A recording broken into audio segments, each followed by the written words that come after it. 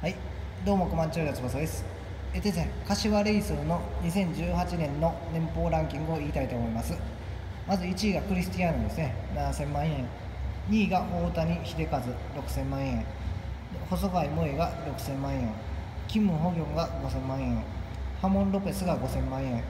ユン・ソギョンが4500万円。栗沢良一が3500万円。鎌田次郎が3000万円。伊藤純也が2500万円。中山浩太が2500万円。中山康介が2500万円。澤正和が2000万円。江坂仁が2000万円。亀川、えーとまあ、漁師が2000万円。中谷慎之介が2000万円。桐畑和友が1500万円。小泉慶が1500万円。山崎良平が1500万円。小池龍太が1500万円。瀬川祐介が1000万円。パク・ジョンスが1000万円。今井智樹が900万円。中川健人が800万円。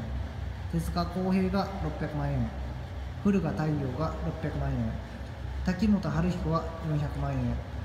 田中陸が300万円。猿田春樹が300万円。宮本俊樹が300万円。中川壮が300万円ですね。はい終わります。